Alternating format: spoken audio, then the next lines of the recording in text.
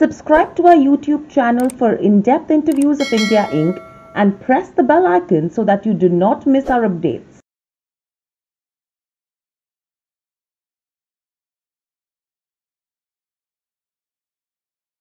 Hello and welcome to Nirmal Bang, ladies and gentlemen. I'm Hiral Dadia. We have with us Mr. Kumar Rajagopalan, CEO at Retailers Association of India, joining in. Welcome to the show, Mr. Rajagopalan, and a pleasure to speak to you once again. Firstly, let's start off with how we've actually maneuvered over COVID.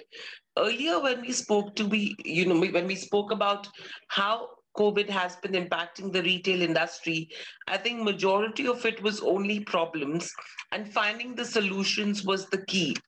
From here on, with the kind of recovery that we are seeing in the, over the last two to three months, how would you actually describe the transition? Yeah, I think we're uh, definitely seeing signs of hope. Uh, recovery has been happening, but uh, we still have to understand that the businesses have not come back to the pre-COVID levels. Uh, so at this stage, it's essential for the government, all the retailers, and various people involved to make sure that consumption in the country goes up. And uh, somehow we are back onto our growth trajectory. I think that's what all of us would want to wish for in terms of the GDP, overall consumption, etc. So that's where we are. Uh, we're still not grown over last year. We're, we're still lagging behind, and depending upon which uh, particular uh, item is being sold or what segment is being sold, the results are different. For example, people who are in the electronics industry as a category have been doing quite well. So obviously, there's lots more work from home happening, schooling from home happening, etc. So that's doing well. But if you look at segments like garments, etc., it's still got a long way to go in terms of catching up. So we'll have to wait and watch. Absolutely, a wait and watch approach is what everyone is looking at. But if you could just help us understand for the retail industry as a whole, you know, in fact, all sectors have taken back some learnings, some changes in business strategy. What is the key learning that retailers have learned from the recent crisis? I think there have been a few good learnings for retailers, like you're saying, like other industries. Uh, the, and some of them could be actually common learnings also. Absolutely. So the, the first learning has been that digital is in mm-hmm. and retailers who lagging behind have, have jumped onto the bandwagon. Those retailers who are already onto a, a digital trajectory uh, tell me now that uh, what they had planned for in 2024 is already happening for them now mm. from digital perspective and i'm calling it digital i'm not calling it e-commerce as yet and that is because i think it's about being visible to consumers allowing consumers to interact with them 24 by 7 and then allowing them to buy irrespective of whatever channel that they want to go and buy from so that is in. So the first is the digital part of the journey. So most of the retailers have come, come back with an omni-channel approach to retailing. The second part is about collaborations. I think retailers who went out and collaborated with mall owners, people who collaborated with financiers, people who collaborated with suppliers, all these are the retailers who are doing well. And some retailers already uh, even collaborated with competitors to try and make sure that each other can, they can use each other's space, people, etc. Mm. So that's the second part of the learning that's come come through. I think everybody can be a collaborator is the way one would look at it.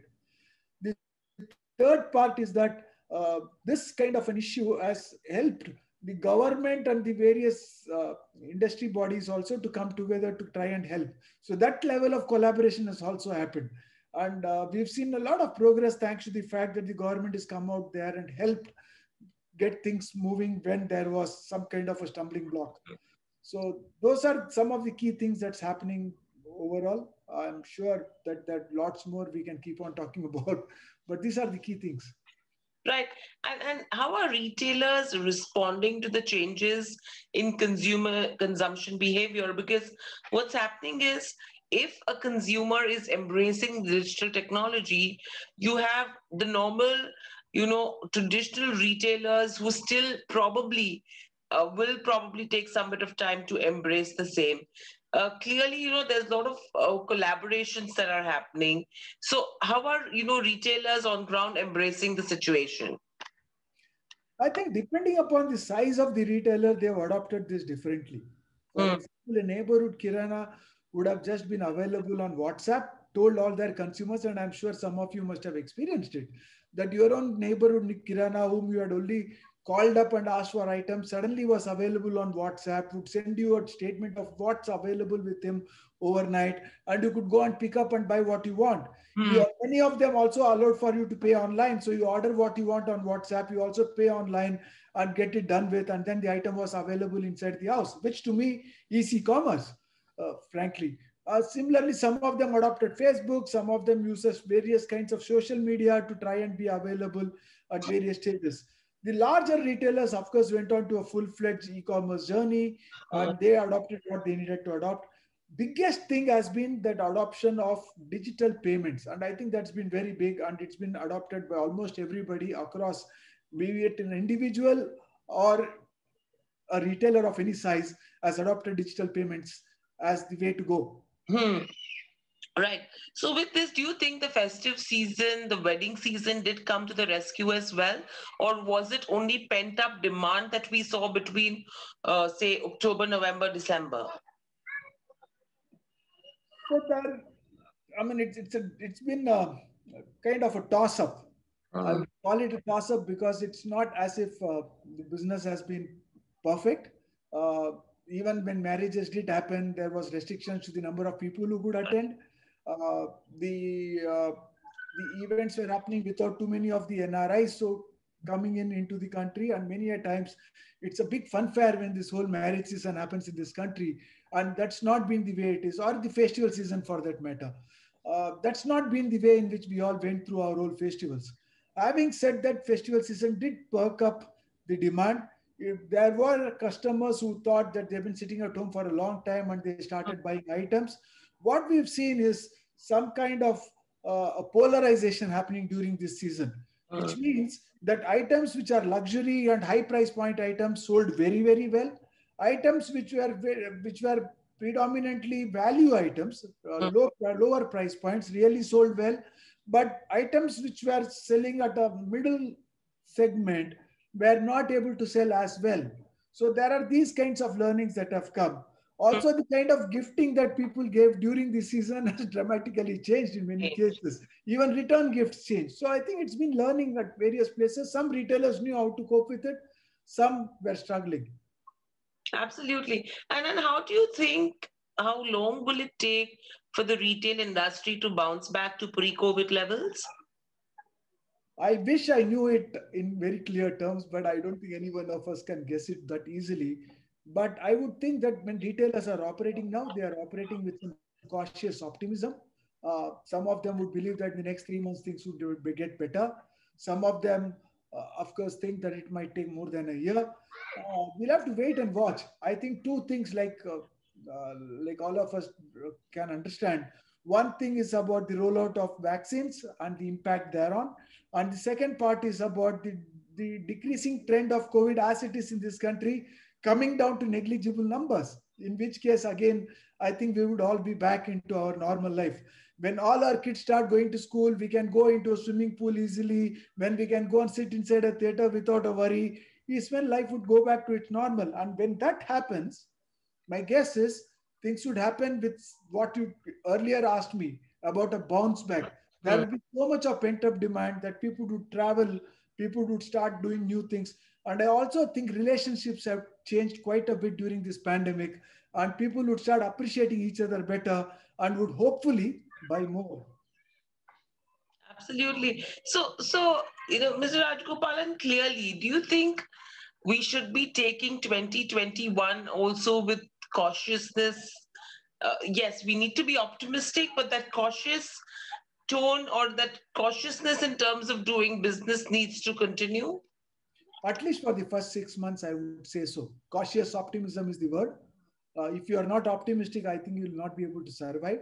And uh, if you've learned anything nice and new, this is the time to really practice it well enough. I'm seeing a lot of retailers who learned some new tricks because of the pandemic. They've learned new methods of employing people, new methods of adopting technology, new methods of creating new products and innovation in products. I think those are the kinds of guys who are going to thrive. The others would have to really catch up. Right. So, you know, whilst the pandemic was on retail, uh, you know, as an industry, also had made a lot of recommendations to the government with regards to uh, different, you know, uh, practices where they would be given some bit of ease. From that, what do you think should be now considered in the budget? Because the expectations have gone up, the bar has been risen, and everyone's expecting a lot from the budget that will be announced on the 1st of February. Uh, as a representative of the Retail Association, what are the key demands and what are the key, uh, you know, representations that have been made? So uh, budgets are no more just financial we all understand that it also gives uh, direction to where things are going to go. And as Retailers Association, our understanding is about consumption and the way individuals or consumers feel better about life. Mm. So on one hand, of course, the expectation and all of us across industry have got an expectation that maybe consumers would be given lots more leeway to be able to feel slightly better off so that they go back to consuming and they go back to feeling a sense of well-being. So that's important. Uh, along with that, our own expectation is that if consumption has to increase, the way we do business also has to be really eased up. So a big chunk of what will happen for retail sector, my guess is, is to do ease of doing business. And on that, one part is that there's been a pending thing about uh, about a retail policy uh, the DPIIT has worked very deeply along with all of us in the association to, to come to some kind of a work board there. And I hope that there is some kind of a, uh, a clear signal as far as the retail policy is concerned, which is predominantly about ease of doing business, about 24 by 7. Some of the states have already adopted 24 by 7, 365 days working, women to work till later hours, etc. very clearly. Uh, we do want that to happen very clearly. The second part is about some hindrances that has been happening to business. There are places like, you know, the, the whole Package Commodities Act, which levies criminal charges on owners of retail businesses, even if it's an inadvertent problem. And these are the kinds of things that's not there in any other act. And we hope that these gets revoked. There are better provisions there. There are compounding norms that comes in. So that's the other thing that we've kind of asked for. The third part is, of course, about things like GST. There are quite a few things that we've actually put up. I'm sure it will come under GST Council. But the overarching thought process is how do you make sure that you can really easily adjust your debits and credits as far as GST is concerned? Mm. And the second part is if we want to attract tourists from across the world, how do we make sure that the minimum thing that happens with any tourism based economy is to create a VAT or a GST refund for people who come in from outside of the country and buy from in the country? And this is something which is like a deemed export. So we'd expect that something like that would happen. So these, these are some of the larger strokes that I would talk about. Right.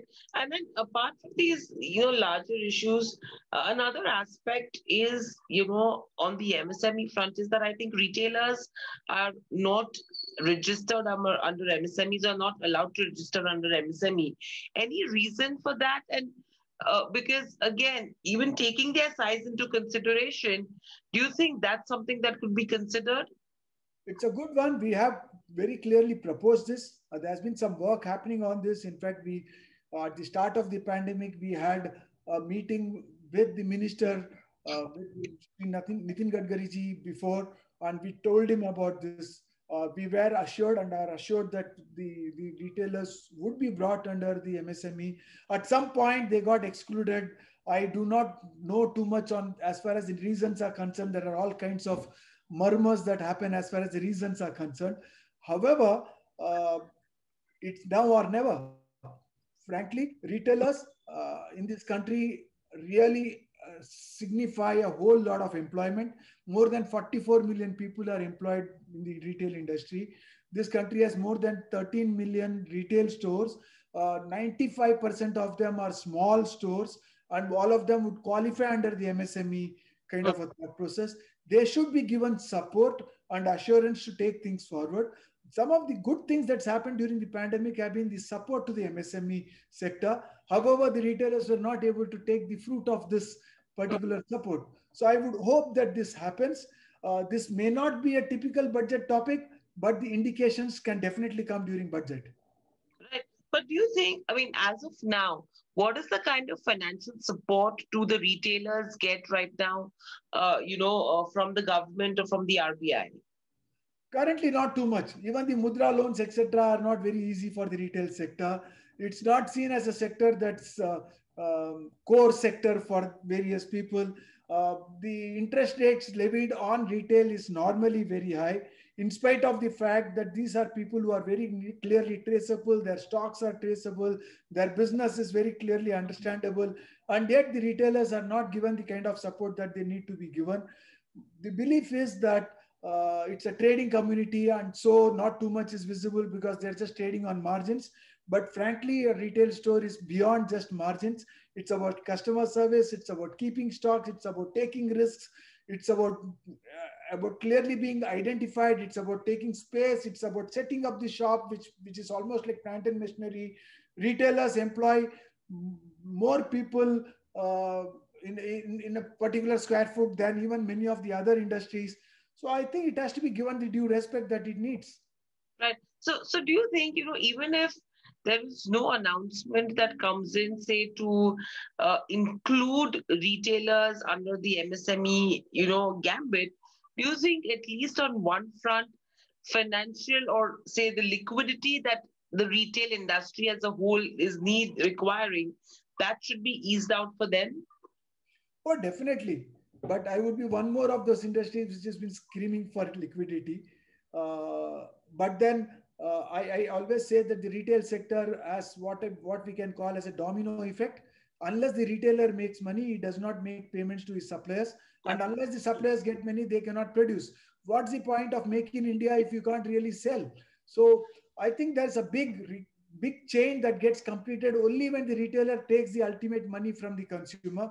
And if a retailer crumbles and falls down or gets squeezed out of the business because of lack of funds, it has a very big ripple, effect in the market. So therefore, the retail industry is a very important industry to support. Uh, there has to be some kind of financial focus on this sector. It's not a difficult sector to financially focus. Like I said, there is very clear availability of space. There is very clear input of various stocks and various kinds of fixtures that's being put in there's a lot of employment and lots of support for employment could have come in. For example, this whole PF ESIC support that had come in for some parts of sectors could have also come in. So I think there's a lot that needs to be done to try and encourage employment on the one hand with retail and to make sure that there is finance available to pay back to this uh, this uh, set pay back to the entire set of suppliers and various others so that there is a contagion effect there. Right. So, so very last thing, Mr. Rajagopalan, from all that we've discussed right now, uh, anything that you think we have really missed out? Uh, the uh, the big thing that I, I want to talk about is employment. And uh, employment in retail is a very important part of this country.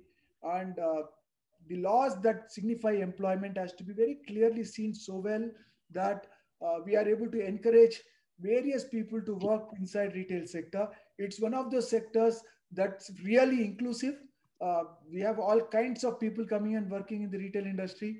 And uh, therefore, there is a need for clear focus towards people who are employed in retail sector and to support the retailers on the kind of employment that they are making in the retail sector. Even a two or three year focus towards this could take things to a very different trajectory in this country. Absolutely. And I think a lot needs to be done from here on as well, because I think the size of the industry is huge and it's the entire manufacturing industry that's dependent on the retail industry as well and for Make in India to actually work, for Startup, Startup India to actually function, this is the industry which has to be the engine as well.